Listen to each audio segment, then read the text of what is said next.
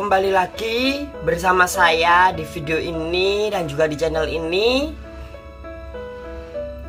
Kembali lagi kita membahas lagi suatu pembahasan Di mana kali ini saya mau membahas mengenai persaingan agama yang merajalela versi Ratu Adil Tim Di mana di zaman ini agama menjadi salah satu hal yang penting dalam hidup ini. Apalagi ada yang bilang agama agemi ngaji. Agama itu pegangan hidup. Agama itu pedoman hidup. Agama itu jalan hidup di mana di zaman-zaman ini sangat merebaknya ya peperangan dunia agama. Perang agama itu semakin merajalela saja. Apalagi setelah dikeluarkannya tokoh-tokoh pemuka-pemuka perbandingan agama. Waduh waduh waduh persaingannya sampai-sampai berat sekali. Di mana uh, agama ini memang ya setiap orang yang meyakini agama masing-masing mereka akan menganggap agama mereka itu yang benar yang lain salah. Pasti itu anggapan mereka. Contoh halnya itu orang Islam. Orang Islam menganggap yang lain salah yang benar itu Islam. Orang Kristen sama. Dia anggap keyakinan dia benar Yang lain salah. Orang Hindu dan Buddha sama. Mereka menganggap keyakinan mereka benar Yang lain salah. Dan hal itu menjadi hal yang wajar ya Karena yang namanya agama Namanya keyakinan Karena kita yakin. Kita yakin bahwasanya yang kita pegang Yang kita imani Itu yang benar Dan karena rasa pengerasa itu Karena sesama umat agama itu saling merasa bahwasanya keyakinan mereka itu yang benar, yang lain salah Mereka semua berkeinginan untuk meluruskan agama-agama. Orang Islam ingin meluruskan kesalahan agama-agama yang lain Supaya pihak agama lain mau masuk ke Islam. Sama pihak Kristen. Dia juga mau meluruskan agama-agama yang lain. Biar umat yang lain mau masuk ke Kristen. Sama juga Hindu dan Buddha juga seperti itu. Memang ya persaingan agama itu memang berat. Sampai-sampai dimunculkannya tokoh-tokoh perbandingan agama. Yang nanti ujung-ujungnya debat debat masalah agama, debat masalah teori, debat masalah argumentasi, debat masalah ayat-ayat. Di sini posisi saya, saya tuh netral. Kali ini saya tuh netral, saya nggak memihak kepada siapa pun. Kali ini posisi, posisi saya itu netral. Saya hanya ingin supaya Anda semua berpikir secara jernih di mana banyak sekali peperangan agama terjadi. Entah dari perang teologi perang argumentasi perang pendapat ya. Sampai-sampai perang di sosial bahkan kehidupan sosial. Perang teologi seperti apa? Perang teologi itu contohnya kalau khotbah dia sama agama dia tuh menjelek-jelekan agama yang lain. Itu sebenarnya perang teologi. Dia menganggap teologi dia yang sudah benar yang lain salah. Perang argumentasi perang pendapat itu seperti apa? Dia memiliki pendapat bahwasanya agama dia itu yang benar yang lain salah.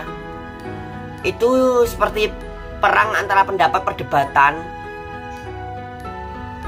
Perang dalam dunia sosial itu apa Contohnya sembako. Kita itu disuruh menjadi saluran berkat. kita berikan berkat pada orang lain dengan tujuan itu kebaikan. Kita entah kita itu sebagai umat beragama, kita tidak mengharapkan orang lain itu ikut ke agama kita. Masalah agama biarkan orang lain itu memilih. Kita sebagai orang beragama, kita menjalankan saja kewajiban agama kita.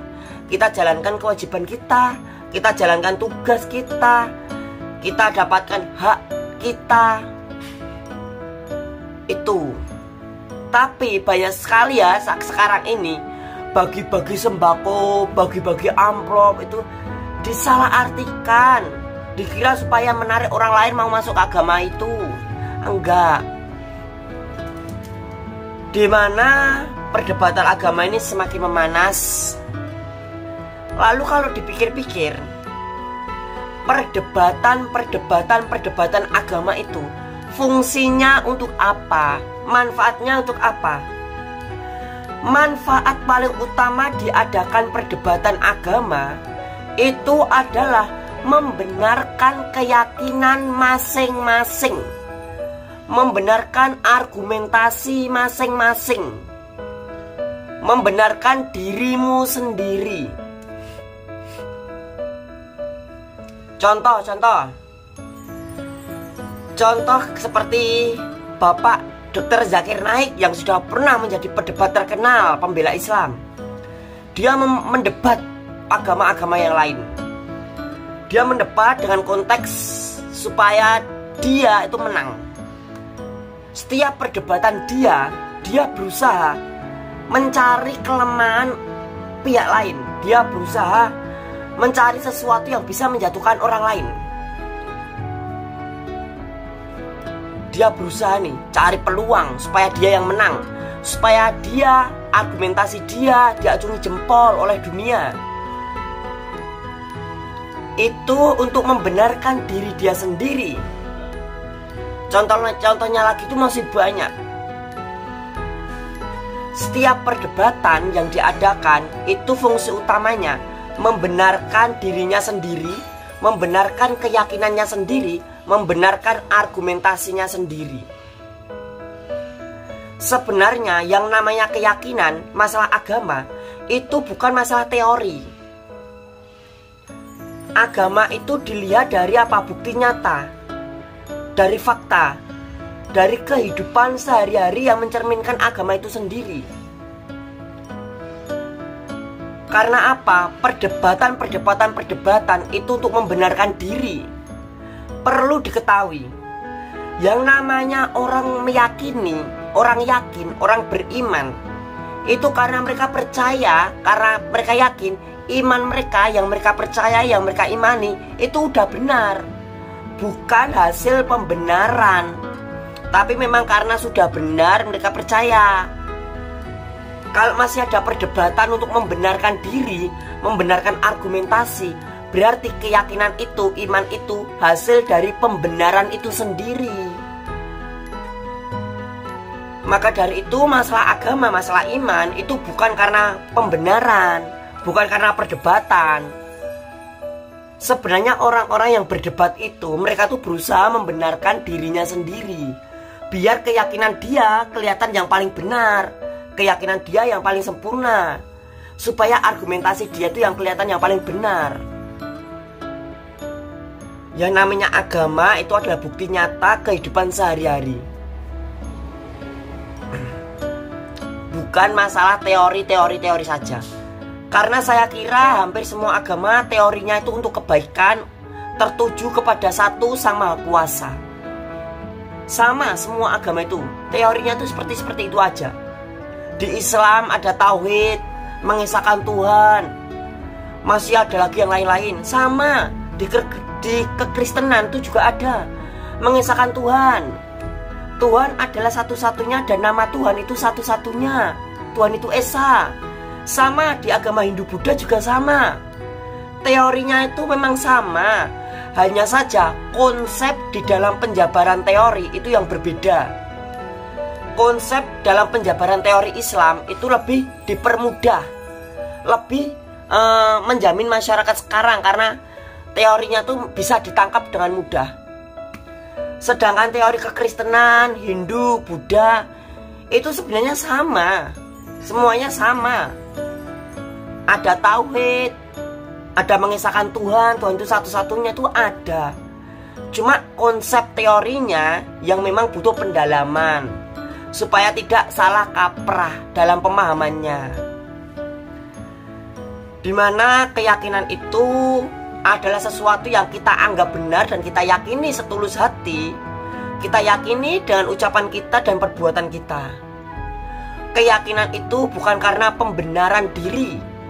Keyakinan itu bukan karena pembenaran, kalau keyakinan itu dari pembenaran, itu sama saja yang awalnya salah. Dia berusaha membenar-benarkan dirinya sendiri. Dia berusaha membenar-benarkan keyakinannya sendiri. Jadi keyakinan itu adalah sesuatu yang memang sudah benar, kita yakini setulus hati dengan ucapan kita, perbuatan kita. Terima kasih, jangan lupa like dan subscribe video ini.